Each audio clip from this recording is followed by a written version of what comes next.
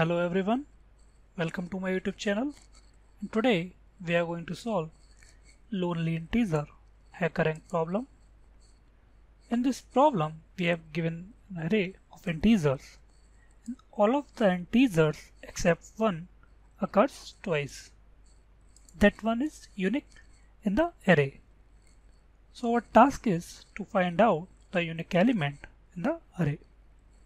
In short guys, we have an array of integer elements and each and every element is duplicate inside the array except one.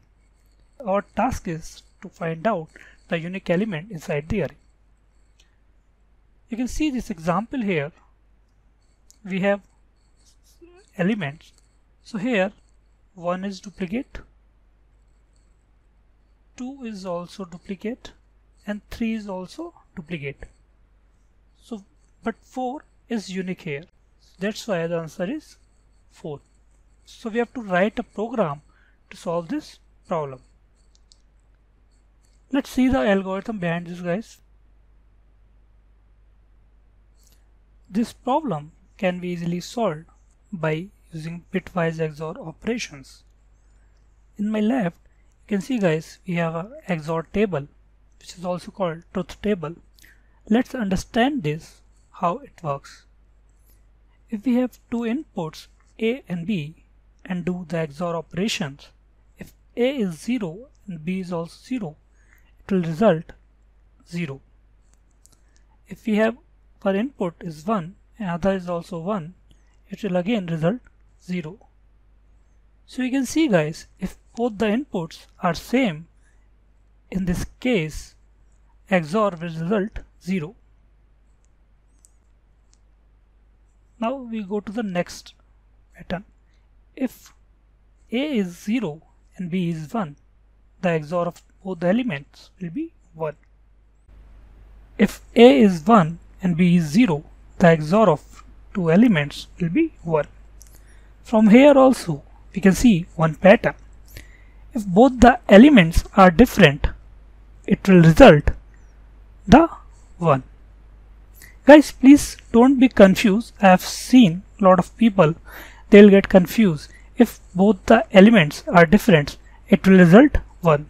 I'll tell you what I'm trying to say. Just see the next one first. If A is A and B is 0, the XOR of both the elements will return A.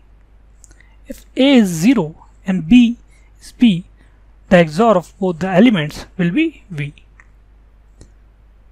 Guys, I hope now you are able to see the difference between these two patterns. It's clearly that if we are going to do XOR operation of 0 with any other input, it will give the other input as a result. Or you can say if we are trying to do XOR operation of two inputs and in that any one input is 0, it will result the other input as an output. So here you can see this is the 0. So it will return B as an output.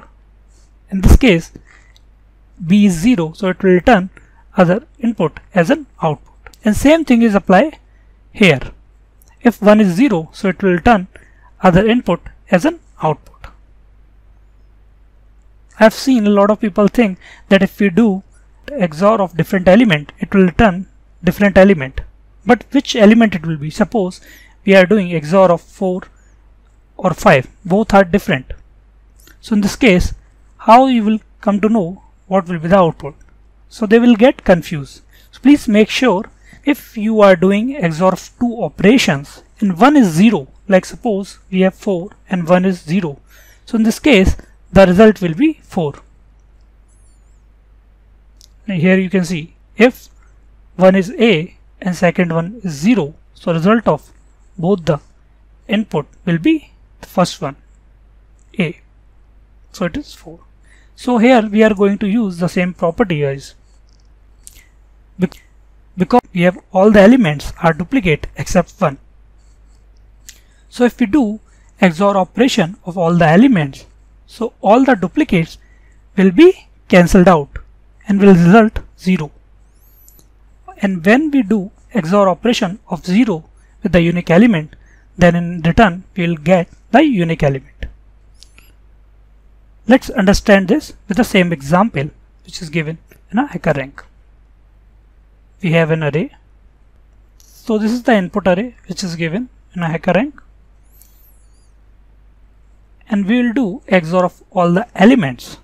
Here we have taken one variable which is result which will store the final result and we are assigning to 0 because we know if we do XOR of 0 with any other element it will result the other element. So we are going to do XOR of first all the elements then we'll do XOR of the remaining element once we finish this with the result. So we have one. We can also write or simplify this expression like this from the table if both the inputs are same, it will result 0. We can also simplify this expression like this.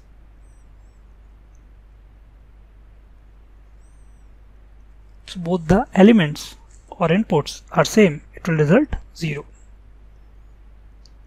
Or if one is 0 and other one is B from this table you can see it will result B. It means it will result 4 and once we do XOR of two inputs where one is 0 and other is 4 it will result 4 we got 4 which is our answer.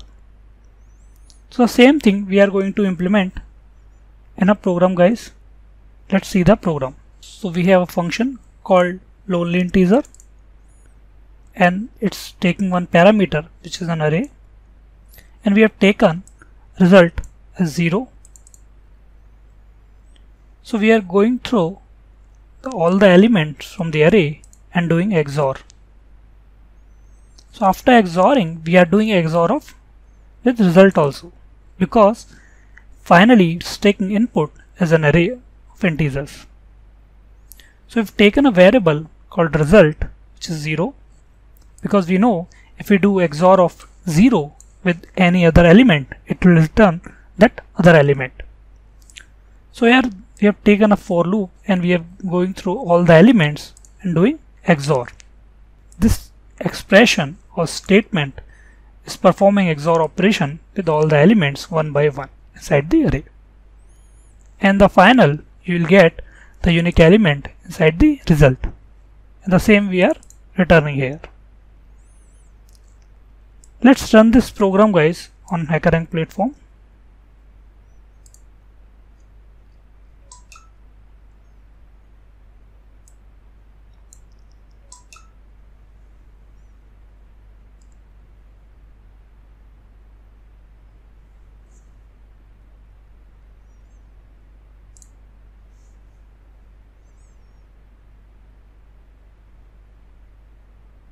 So guys you can see our sample test case got passed. Now I'm trying to submit my code. So all test case got passed. I hope guys this problem is clear to you. And if you want the source code, you can just go through my GitHub repository and download the code from there. And the link is mentioned in the description box. Thanks for watching guys and please don't forget to subscribe my YouTube channel and press the bell icon for more updates. Thank you guys.